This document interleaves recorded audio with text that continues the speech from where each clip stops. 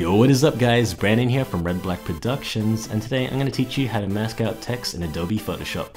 So what we're going to be doing is getting a text with a picture or a pattern of our choice inside the text. So to do this, let's go ahead and load up our picture or pattern and go in our sidebar and click on text tool.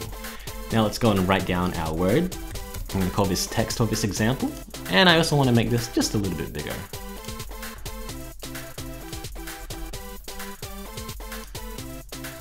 Alright, once we have our text over our picture, what we're going to do is hold command and click on our text layer. Once we did that, we should see that everything should be outlined. Now what we're going to do is click on our layer of our picture and drag it over our text. Now we should still have that outline of our text. So what we're going to do is, while we're still on this layer, we're going to go and click over here on this little mask button.